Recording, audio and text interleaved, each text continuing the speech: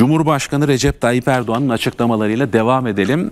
İletişim Başkanlığı tarafından gerçekleştirilen Uluslararası Stratejik İletişim Zirvesi'ne bir video mesaj gönderdi Cumhurbaşkanı Erdoğan.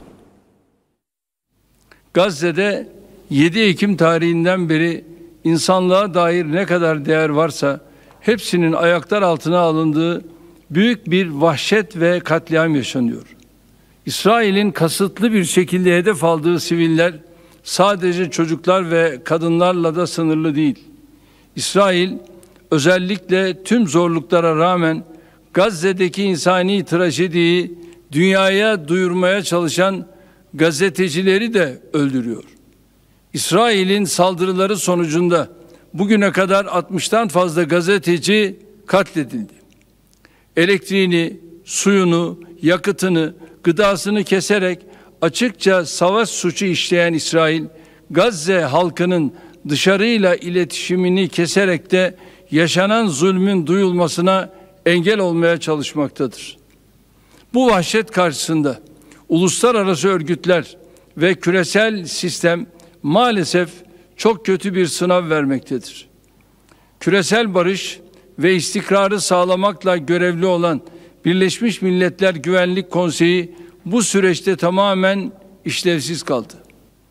Birleşmiş Milletler Genel Kurulu'nda 40 ülkenin çekimser, 121 ülkenin ise evet oyuyla kabul edilen karar ise insanlığın ortak vicdanını yansıtması bakımından anlamlıydı, değerliydi. Bizi Gazze krizinde çocuk ölümleri kadar üzen bir başka durum uluslararası basın kuruluşlarının tarafkir yayınları oldu. 7 Ekim hadisesinin öne sürülen birçok basın yayın kuruluşu İsrail'in Gazze'de işlediği insanlık ve savaş suçlarını görmezden geldi.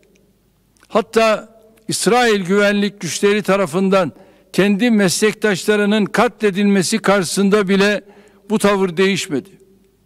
Bu ilkesiz tutumun sadece hayatını kaybeden gazetecilerin ailelerini değil, basın camiasının tamamını derinden yaraladığına inanıyorum.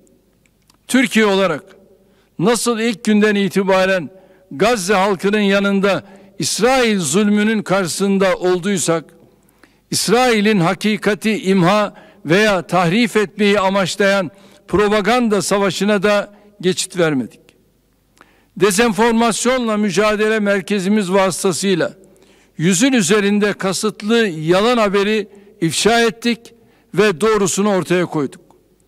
İletişim Başkanlığımız, TRT'miz ve Anadolu Ajansımız üzerine düşen sorumlulukları yerine getirdiler. Sağdaki durumu an be an haberleştiren Türk basın mensupları bu süreçte gerçekten cesur bir duruş sergilediler. Buradan yerli yabancı ayrımı yapmadan hakikatin savunuculuğunu yapan tüm gazetecileri yürekten tebrik ediyorum.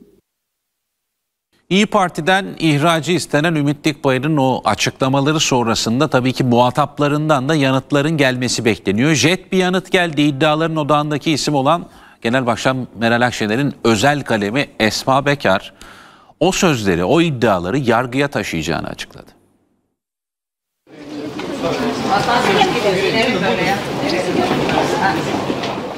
Benim danışmanıma ajanlık teklif ettiler ya.